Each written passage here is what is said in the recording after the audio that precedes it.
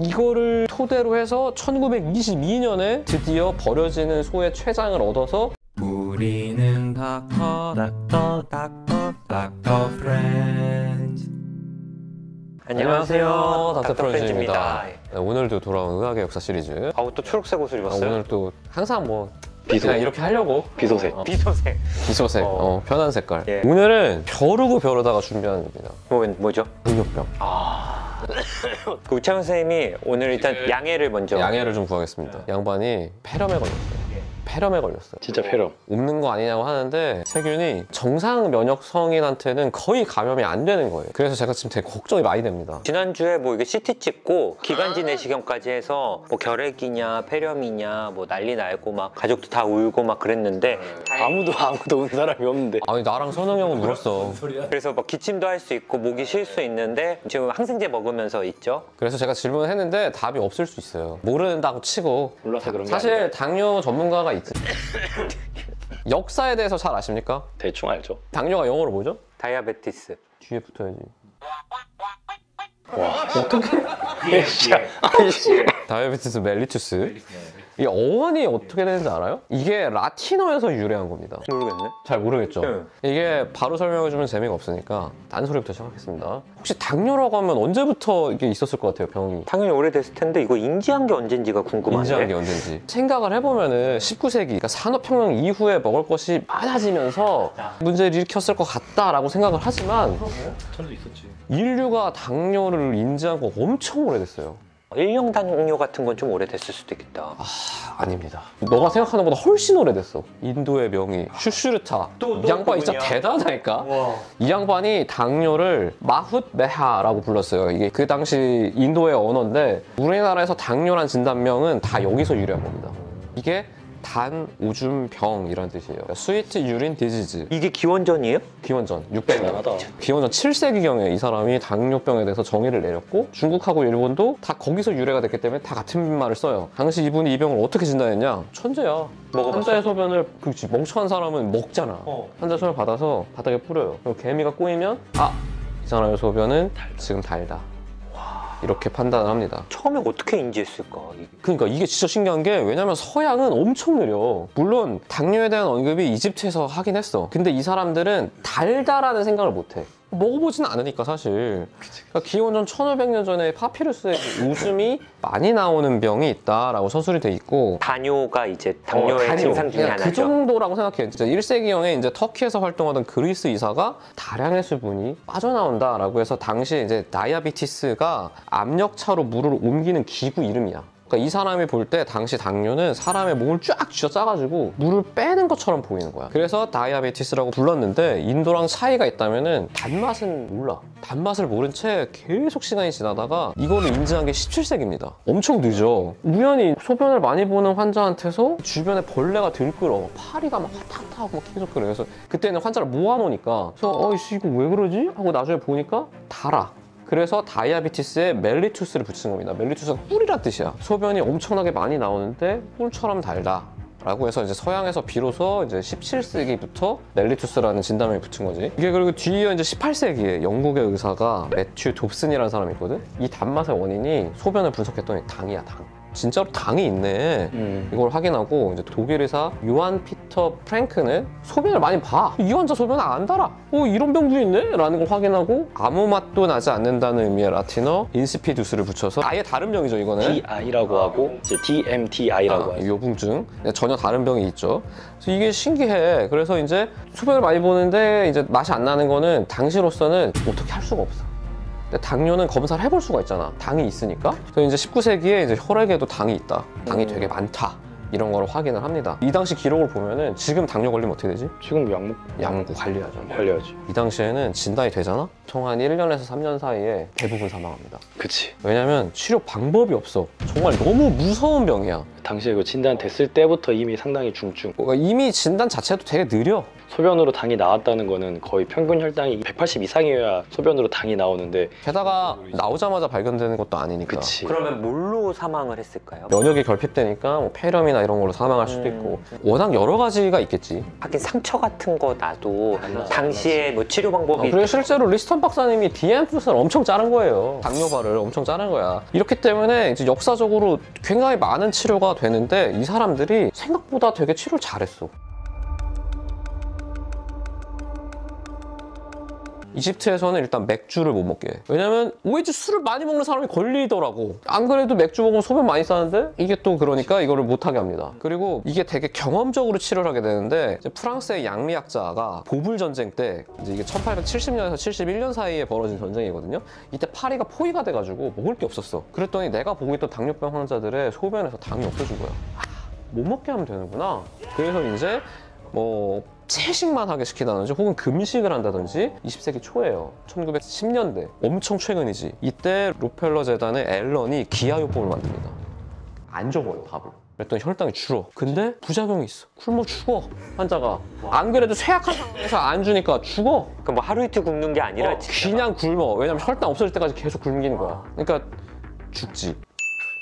혈당이라기보다는 이제 그렇지 이게 소변에 당이 없어질 때까지. 당연한 건데 당연히 조선에도 환자가 많았습니다. 조선에서는 이걸 소갈병이라고 불렀어요. 계속 목이 마르고 소화가 빨리 되니까 밥을 계속 원하고. 근데 이제 뭐 일반인들은 안 걸리지. 많이 못 먹으니까 왕이나 양반 같은 사람이 걸려서 별명이 부자병이에요. 어, 부자 되면 어, 조선에서도 이게 진짜 무서운 병이다 보니까 기록들이 있어요. 조선 후기 노론의 대부인 안동립시 김수미 씨가 있습니다. 양반이에요, 양반. 아주 높은 사람이야. 김수미 씨요? 남자. 어, 대감이야, 대감. 몸이 마르고 뭐 치아가 빠지고 다리가 마비되더니 결국에는 전신이 온전치 못하게 돼서 사경을 헤매다가 사망했다. 어... 이런 기록도 있고 조금 슬픈 게 허항이라는 양반이 하나 있어요. 이 사람이 되게 일을 잘했대. 그래서 중종 때 소갈증이 있는 것 같습니다. 나좀 쉬고 싶습니다. 안 돼. 저 진짜 심합니다. 아, 안 돼. 아, 진짜 너무 힘듭니다. 안 돼. 이거를 중종 31년에 세 번이나 했는데 다 거절당했어. 그리고 중종 32년, 1년 후에 사망합니다. 일만 하다가 쉬지도 못하고 사망했어. 근데 이런 게 비일비재. 오늘 우창현 선생님 억지로 회식시키는 건 아니잖아요. 그쵸 그쵸 여기는 아니 아니야 비일비재하다고 또 양반들이 걸리니까 얼마나 절박해 치료하고 싶잖아 그래서 이제 조선에서도 비방들이 있습니다 왜 그랬는지 모르겠는데 저 성관계를 피하게 하고 대나무 잎을 우린 물, 뭐 맹문동 이런 거를 이제 삶은 물을 주거나 혹은 꿀을 꿀을 먹였어요 꿀을 약간 사실 증상이 더 심해졌겠지 효과가 있었을 것 같진 않아 오 끔찍하다. 다시 돌아오면은 서양에서도 19세기에야 비로소 환자의 피와 소변에 당이 있다는 걸 확인했고 이 당이 포도당이라는 것도 확인을 했어. 음... 근데 이제 치료를 해야 되는데 너무 걸림돌이 많습니다. 아 뭔가 부족한 거 보충한 거 아니야? 봐봐 지금은 공복 혈당이 얼마가 됐을 때 비정상이다. 맞아요. 알고 있잖아. 어. 이 사람들이 알게 뭐야? 그치. 알 수가 없어 기준을. 잴 수는 있는데 어, 잴 수는 있어. 쟀어. 에, 혈당이 나왔네? 당연히 혈당은 다 있잖아, 사람들이. 당이 없으면 어떻게 이래. 그러니까 이게 어디서부터 비정상인 건지, 언제 세야 되는 건지, 이런 것도 하나도 몰라. 이 사람들이 실수를 할 수밖에 없었어. 그거를 감안하고 들어야 됩니다. 1848년에 생리학의 대부, 베르나르가 이 당이라는 게 간에서 나오는 거야. 간의 글리코겐이라는 곳에서 당분이 나오는 거야. 어... 그러니까 공복 혈당이 있는 거는 문제가 아니야. 어... 지나치게 많아지는 게 문제인데 이거는 간 때문인 것 같아. 그래, 어, 왜냐면 간에서 당이 나오니까 그렇게 생각을 한 거지. 그래서 모든 학자들이 간만 계속 봅니다. 계속 봐. 그 와중에 1869년 베를린의 의과 대학생 이름이 아주 익숙할 겁니다. 랑게르한스. 음... 이 양반이 췌장을 이렇게 보다가 소화액을 만드는 아시나셀, 그러니까 선포세포 말고 군데군데 무슨 섬처럼 뭐가 있어. 뭐지? 이렇게 하고 넘어갑니다. 뭐 하는 건지 몰랐어. 그리고 많은 사람들이 이 세포가 뭐지? 라고 생각을 하면서 췌장의 기능을 알고 싶어 해. 이게 당뇨 때문이 아니야. 전혀 상관없이. 그러다 1889년에 지금 프랑스입니다. 2차 세계대전 이후로 이제 프랑스가 영토가 됐지만 그때 독일 영토였어요. 스트라스부르 대학에 이제 민코프스키랑 폰 메링이 실험을 해요. 이때는 의사들이 실험을 하고 싶잖아? 화끈해. 췌장을 없애면 되지 않을까? 야, 개 좀 잡아. 그치 그치. 야, 조수는 개 잡아옵니다. 변을 이상하게 보거나 장기적인 문제가 생길 거라고 기대를 하고 췌장을 없앴어. 봤는데 이 개가 보는 소변에 벌레가 들끓는 거야. 어? 뭐야? 췌장이 뭔가 관계가 있나 보다. 그때 마침 랑게란스라는 친구가 뭔가 다른 세포를 하나 발견했었잖아. 음. 얘가 뭔가 당뇨랑 연관이 있나 보다라는 생각을 1889년에 하게 되고 1893년에 이제 프랑스의 라게스라는 의사가 그래 이 세포가 탄수화물 대사를 조절하는 내분비 물질을 분비하는 것 같다. 음. 이 세포의 이름을 랑게란스 이름을 따와서 랑게란스 세포라고 부르자 라고 하게 됐습니다. 이제 뭘 하고 싶어? 췌장을 이용해서 이제 당뇨 치료하고 싶잖아. 이 당시에 막 얼마나 실험적이야. 걸리면 죽는 병이. 게다가 19세기에는 오르가노 테라피가 유행합니다. 음. 어떤 사람이 숱하게 고환을 갈아가지고 고환을 갈아가지고 주사를 맞는 게 건강에 좋다고 주장을 해요. 근데 여기에 실제로 테스토스테론이 있어. 음. 물론 부작용을 많이 이제 사망을 했지만 아니면 괴사가 되거나 하여튼 뭔가 그런 거에 대해서 자유로워. 그러니까 야 췌장을 갈아보자.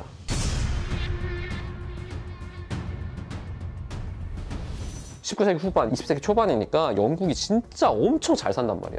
도살장에 가면은 소들이 계속 죽어. 공짜로 소의 췌장을 얻을 수 있는 거야. 어. 소의 췌장은 되게 크거든. 안 먹으니까. 어, 안 먹으니까. 그래서 그거를 갈아갖고 그냥 환자한테 이제 놔봅니다. 놔. 했더니 효과가 없어. 어. 췌장에 췌장을 갈아 넣었는데 그리고 효과가 있기는커녕 췌장에 인슐린만 있어요? 아씨. 소화 효소가 있잖아. 얘가 단백질도 분해하고 지방도 분해하잖아. 그걸 여기다 넣으면 어떻게 되겠어? 와 끔찍하다. 얘가 분해가 되겠지. 혈관이 아니라 그냥 근육 주사인 거예요? 그냥 근육 주사를 푹 찌른 거야. 혈관 찔렀어도 뭐 주변 다 녹으면서 피나서 죽었겠지. 그래서 이제 환자가 오히려 잘못돼. 그래서. 사람들이 어 이게 왜 이럴까 하다가 어떤 사람이 야 이거 소화 요소 있잖아 인슐린은 뭔지 모르지만 하여튼 얘를 녹이는 거 아닐까라는 생각을 하게 됩니다. 그래서 실험적이던 의사가 개를 한 7, 80마리를 죽여가면서 이거 실험을 했어요. 근데 될 듯 말 듯 될 듯 말 듯한 상황에서 세계 1차 세계대전이 터져버려요 1914년에 터져버려요. 그래서 막 군대 끌려갑니다. 그런 사람들 중에 이제 왕립 캐나다군의 대위 프레데릭 밴팅 이 사람이 이제 아 밴팅. 계속 실험을 하던 사람이거든요. 전투 도중에 총에 맞았어. 어. 뭐 심각한 부상은 아니었지만 이제 다리를 절게 됐습니다. 음. 그래서 이제 돌아와서 나 개원해야겠다라고 하는데 돈도 없고 아무것도 없어. 온타리오 주에서 뭐 하고 싶은데 뭐가 안 돼. 어. 개원을 못 하고 온타리오 대학에 강의를 하게 됐습니다. 어. 근데 20세기면 사실 이제 정말 문명의 시대인데 대학에서 오케이 너 외과 의사지. 근데 외과는 우리가 강의가 별로 필요 없거든. 탄수화물의 대사에 대해서 좀 해주라. 한다. 어. 그러니까 공부를 해야 되는데 그때까지 이제 개를 가지고 막 실험을 했던 그게 있어. 근데 계속 실패래. 왜냐면은 분리를 못 하니까 이 소화 효소랑 미지의 인슐린을 어떻게 분리를 해? 못 했던 거야. 음. 근데 이 양반이 이제 계속 논문을 찾다가 모스 베론이라는 박사가 쓴 논문에서 췌장 결석 때문에 예. 췌도가 막혔던 환자한테서 어. 췌장의 외분비 부분이 굉장히 위축되었다는 기록을 봐. 음. 아하, 오케이. 그래서 이제 걔 바로 잡아봅니다. 음. 그다음에 수술해. 쇄도를 딱 묶어요. 묶어요. 그래서 한 10일 정도 지나. 그다음에 다시 열어봤더니 외분비하는 부분은 다 죽었고 그 외분비라고 하는 게 어, 소화 요소를 관을 통해서 소화기관으로 분비하는 그 기관들이 쫙 쪼그라들었어. 그러니까 이게 외라는 게 사실 다 우리 몸 속 같지만 소화관은 사실 바깥이랑 그쵸, 연결돼 그쵸, 있잖아요. 그쵸. 어떻게 보면은 우리 몸에서 바깥으로 나가는 어, 그걸 외분비라고 물질이니까 하거든요. 외분비라고 하는 거. 그게 장과 이제- 연결된 그치, 그치. 부분이죠. 그게 예. 쫙 쪼그라든 걸 확인을 했어요. 이거다. 그래서 그거를 쥐어 짰더니 인슐린만 나온 거야. 그래서 그거를 이제 당뇨가 걸린 개한테 주사를 했더니 혈당이 떨어지는 걸 확인했습니다.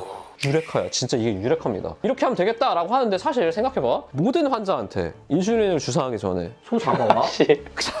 수술해서 채도 묶어. 열을 기다려. 그 다음에 빼서 쥐어 짜서 해. 너무 어렵다. 되겠어? 안 되지 택도 너무 없지. 비싸잖아. 귀족들밖에는 못 받아. 아 그것도 이게 반감기가 짧아가지고 게다가 20세기는 대부분의 사람들이 먹고 사는 데는 문제가 없어졌단 음, 말이야. 음. 캐나다 또 미국이랑 가까워가지고 잘 살았단 말이지. 그래서 이 사람이 이걸 어떻게 해야 되지 라고 하다가 콜립이라는 교수가 도움을 줍니다. 내가 랑게란스에서 나오는 게 뭔진 모르겠어. 근데 산성 용액에 되게 잘 녹고 알코올에는 버티더라. 음. 근데 이 알코올이 외분비 세포는 다 죽여. 그러니까 알코올이랑 산성 용액을 섞어서 췌장을 담굽니다. 그러면 좀 기다리면 은 소화효소는 다 죽어. 음. 그리고 알코올이잖아. 기다리면 알코올은 휘발해. 그러면 약산성 용액에 녹은 인슐린만 남는 거야. 음. 그래서 이거를 토대로 해서 1922년에 드디어 버려지는 소의 췌장을 얻어서 인슐린 치료가 도입이 됩니다. 어. 그리고 23년에 바로 이에 대한 공로로 노벨상이 주어거든요. 1년 만에 준 거 진짜 빠른 거거든? 어린애들 막 다 걸리면 어. 다 죽고 막 그랬어. 그러니까 10살 같은 경우에는 진단이 되잖아? 1년도 못 살아. 30세에 걸리잖아? 그럼 4년? 50세는 8년? 경우에 따라서 더 짧은 경우도 많고 인슐린이 나온 다음에 10살의 경우 45년을 더 살 수 있고 와 어마어마하네.